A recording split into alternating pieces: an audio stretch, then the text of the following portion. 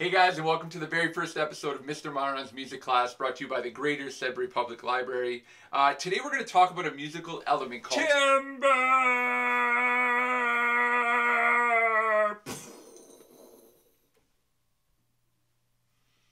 Thank you for that, Medic. It's actually pronounced timbre, though. I know. That's what it said. Timber. Timber. I said it. Timbre is the unique quality of a sound. So when we're listening to a guitar and a piano play, our ear can tell us the difference because they both create a unique sound. So the example I like to give is when we're eating different kinds of fruit, we can tell what fruit it is based on the taste and the flavor. So think of timbre as being the flavor of the sound.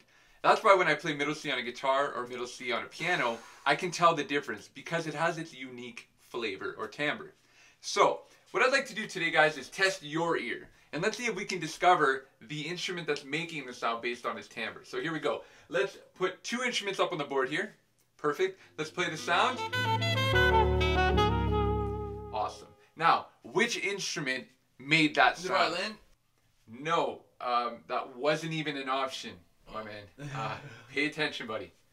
All right, let's try it again. Second set of instruments. Here we go on the board. Let's hear that sound.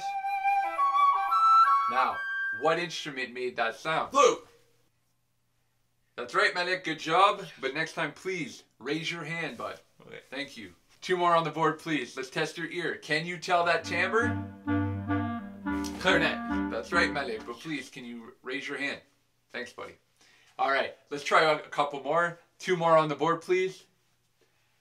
Which instrument makes that sound? Guitar. Good job. Let's let someone else answer, though. All right, buddy? Thank you. Oh yeah. All right, let's do one more, guys. Throw it up on the board. Which one? That's right.